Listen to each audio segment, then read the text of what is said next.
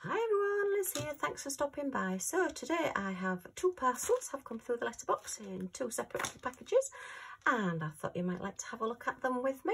So we'll get into them and have a look and see what we've bought. Bought? We'll see what we've got. That's a brilliant start to the video, isn't it? Let's have a look at the slightly bigger one first and see what this one is.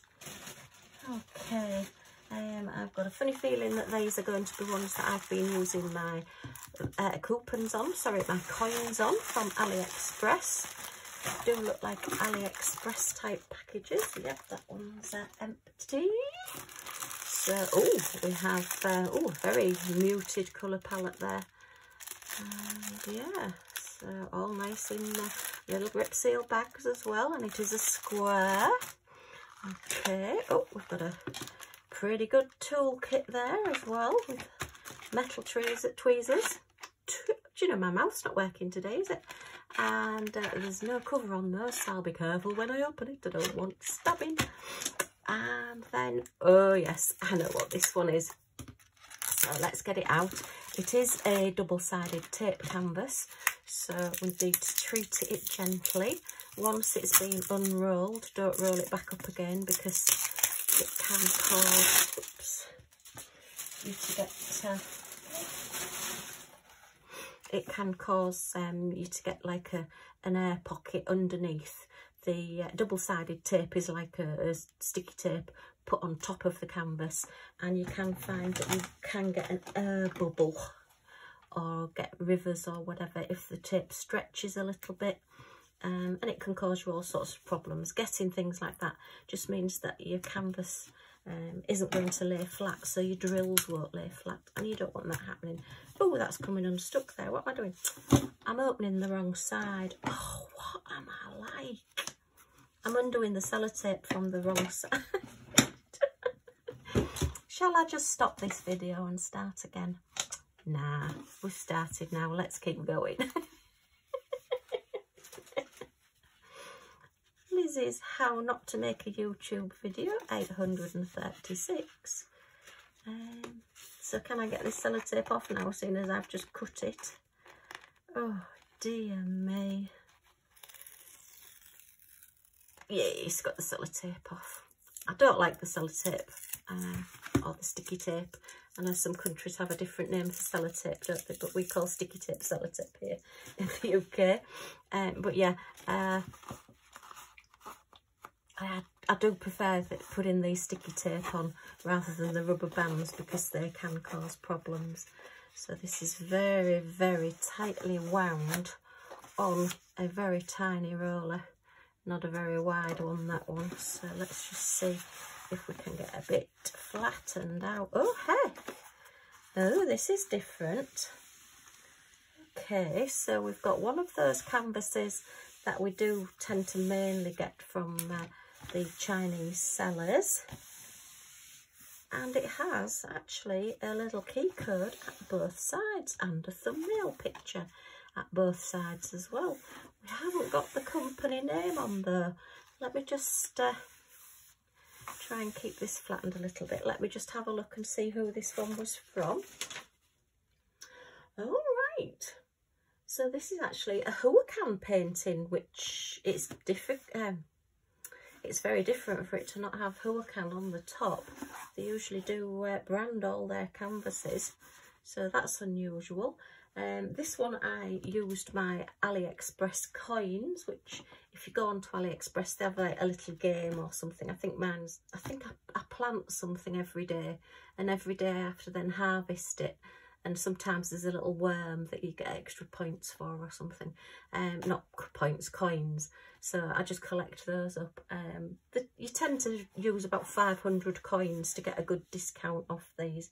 So this one, um, it is a 30 by 40 and it is 35 colours and it's cost me £3.77 with taxes and everything. So that's a pretty good price for um, a canvas this size. So it's unusual that Huacan haven't got their name on it, but it is definitely a Huacan. Um, normally we have down here saying uh, 30 by 40 and 35 colours, but that's not there either. We have got the 30 by 40 up there and on there, so that's uh, unusual. So I won't be cutting my flappy bit off, although I might still do, because I only really need one little key code at one side, don't I? Um, it's only a smallish one. And this is a little robin. And the thing that drew me to him um, is he's not in snow and it's not particularly a winter picture. He's sat on like um, a rain barrel. Uh, this is like a drain pipe coming down and this is like a, a water barrel, a, ra a rain barrel at the bottom. So he's not just for sort of Christmas cards and things. You could have this one up all year round. And I do like my birds. I do like my robins. Um, but this one has such a cross expression on his face that I just couldn't resist him. He just looks so funny. Let's see if I can get him around this way a little bit. Let this canvas just flatten. This canvas is in really good condition. I can't see any rivers or bubbles or puckers or anything on this. See if I can just lift that up so you can see the little thumbnail. Yeah, you can more or less make that out. If I come slowly, might, yeah, that's good. But yeah, he just looks a really cross. Somebody's obviously said something to him to annoy him. So I just thought, yeah, I'll have an annoyed robin on my wall. That's fine. and then we do have two robins in our garden. Um, and they do fight. They bump chests. They get really, really territorial and cross with one another. But they are, tend to be very friendly little animals and I know sometimes um, some people can actually feed them from their hand because they do get very used to you and get used to gardening. I know when hubby used to go out into the garden, I'm just going to pull the uh, paper from this side as well just to help it flatten. As you can see, I've not quite got it lined up, but I'll do that off camera otherwise I could be here a while. Yeah, when hubby used to go out and do his gardening, when he could get out and garden, um, we did have a really friendly robin and he'd quite often have a robin as he was digging and putting plants and things in, the robin would be following him along to see if there was any grubs or worms or whatever left behind that he could eat. Um, from where hubby had been digging. So, you know, he, he wasn't frightened of us, he wasn't bothered by us at all. They are very lovely, friendly little animals and they are very, very pretty as well. I say, yeah, when they fight, they fly at each other and bump chests. Get really yeah, cross with one another. So, yeah, that's a, a nice canvas. There's a little bit of um, sort of ridge in there where it's been wrapped around the roller, but the actual canvas itself is lovely and soft as well. A real sort of materially feel to the canvas. Really quite pleased with this and uh, with it being square we should get plenty of detail. So let's have a look at the toolkit to see what toolkit we got. So this one again is uh, well and truly up from a standard toolkit. We've got uh, one of your white sparkly pens with a little blue pen grip. And that's a four placer because it says so on it. And it's one of the new thinner ones and so I presume that this is going to be a 10. There's my little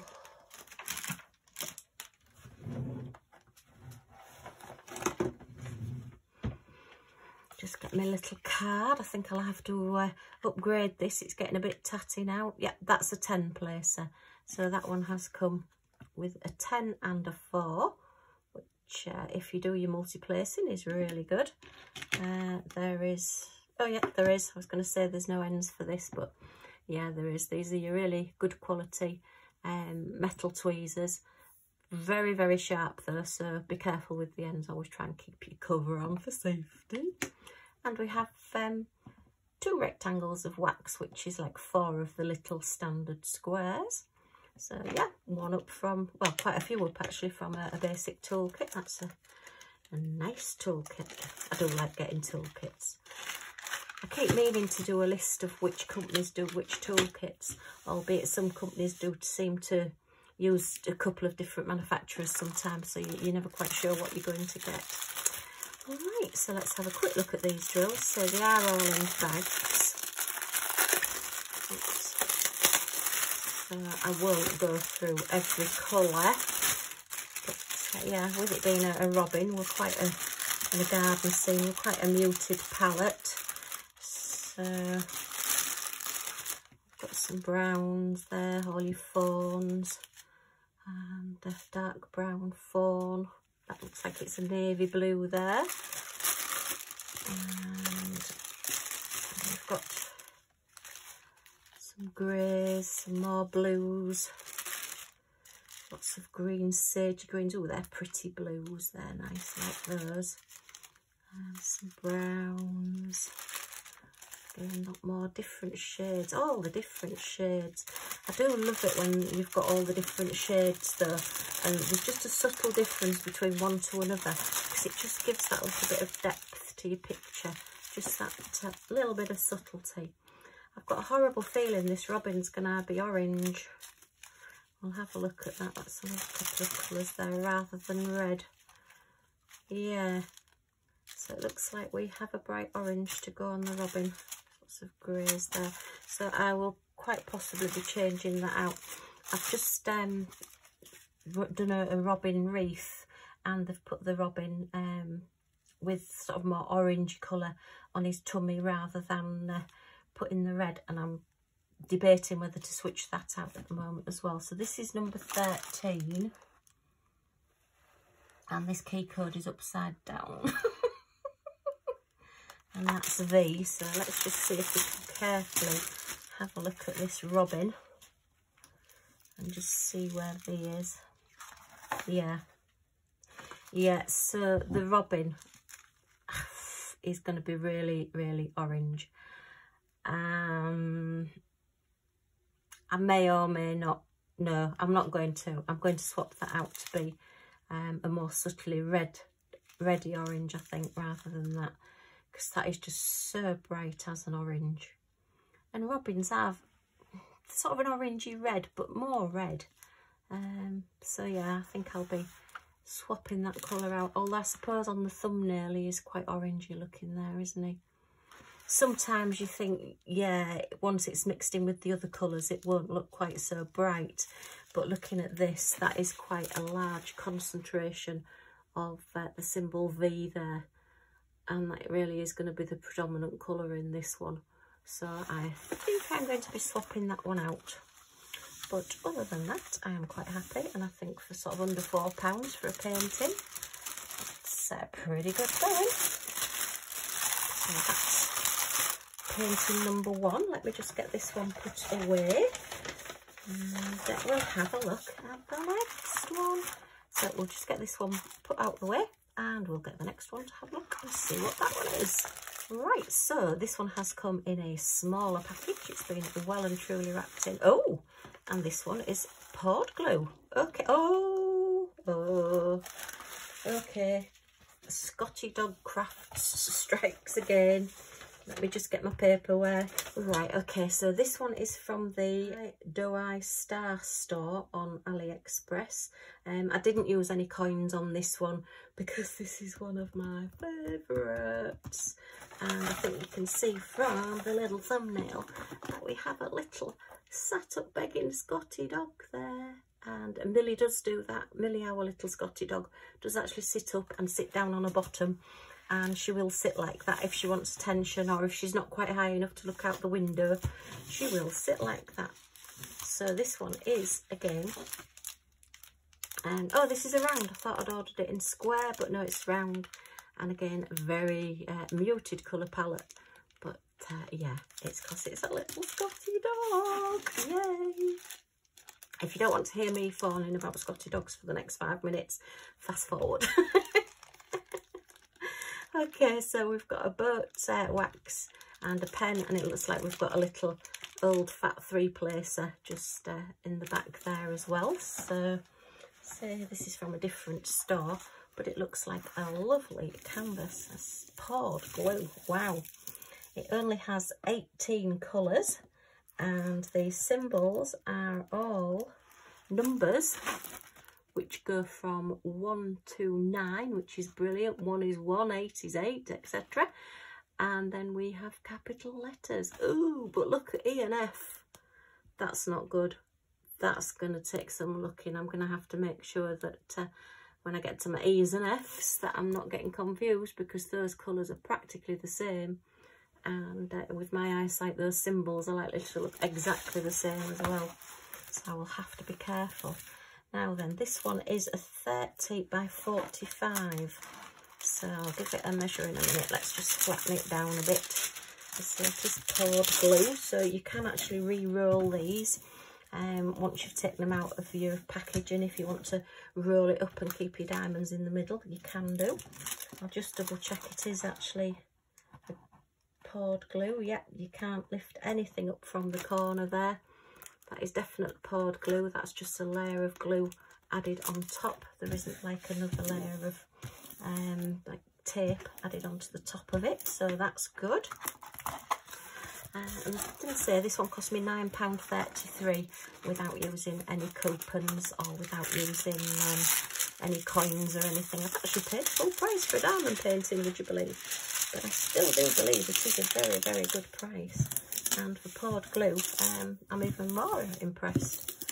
Because you do tend to pay a little bit more for a poured glue canvas. I think they're a bit more labour intensive by putting the glue on the top rather than just putting a tape over the top that's dry straight away. So look at that little face. Is that not just cute or what? And it's quite a long neck actually. And uh, Millie does have quite a long neck. She's quite a long Scotty. Um, our previous Scotty Maisie was quite what we called a squatty Scotty, where she was quite a short body and a short neck and smaller legs. Um, Millie tends to have um, She's got a longer body and a very elegant long neck. She's very pretty, is Millie. But yeah, I just thought, oh, look. And the little tuft of their eyebrows. I love it when they're uh, laid and their eyebrows move. You can see them laid on the floor and they're pretending to be asleep, but then their eyebrows start moving. but that looks like a lovely clear key, um, clear canvas. The symbols all look pretty good apart from that E and F. Oh dear but that background is all confetti. There is no colour blocking at all. It looks like you get one or two colours the same and then it changes to the next colour. So this is going to be fun to do. Uh, it will definitely be a single placer one. Yay! look at that. Oh, it's so sweet. So let's have a look at these drills. Oh, we have got an inventory sheet as well. So that's good. Got key code top and bottom with DMC numbers on as well. Okay, so it is all bagged up into uh, the little grip seal bags. I'm not going to take those out because I think you can see all the colours there. Wow, they're big numbers. Goodness me, I can see those from space. So yeah, that's number 16. So we've got all your sort of like muted greens and a bit of a blue there for the background. And then all your greys and browns and let's see whether there's any 310. I don't think there is. Oh, there is just a bit of 310, I think. 317, yeah. So we have a few different colours. Oh, that's a good size as well. So let's have a look. What have we got the most of? We've got 4,500, which still isn't a huge amount of drills, um, of number 13, which is 3072 three tens. Oh, we've got 1800 three tens, so there's quite a few there. But yeah, so that's your packing slip. Um, once I'm off camera, I will just check that I've got all of the colours and likewise with the other painting as well. Um, as you get your projects, just double check that you've got the right um, drills to go with your packets. Uh, you don't want to be looking at it and then putting it away for a year and then thinking, oh no, I've got the wrong drills. maybe that's just me. okay, so yeah, I'm uh, very impressed with that. Let's just have a quick measure, see whether we are true to size. It just seem very big. Maybe it's because it's the 45, but I wonder if it is true to size. Let's have a look. So yeah, we are 45 centimetres, which is 19, uh, sorry, 17 and a half inches. So yeah, it's true to size that way. Let's have a look this way. And it is ooh, just more or less on 30 centimetres, which is just about 11 and 3 quarter inches. So it is practically on size as well. I did think it looked big. It's uh, certainly a lovely canvas, but yeah, really pleased with that. Really pleased I got that one. So when I'm going to get round to starting this one, I don't know because I've got so many Scotty pictures to do, but I can't resist them. I think collecting Scotty diamond paintings and actually doing them are two separate hobbies. right, so we've looked at two paintings. One which is that gorgeous little Scotty dog just sat there looking, wonder what uh, he or she's after. And then a little cross robin sat on a, a water bucket there on a spout waiting for something to come through. Okay, well, I hope you've uh, enjoyed looking at these with me. If you have, a thumbs up is always much appreciated. And if you want to come back and see what I get up to next, if you press that subscribe button and the little bell next to it, you'll be notified when my next videos come out. So thanks ever so much for stopping by and I hope to see you all again soon. Bye for now.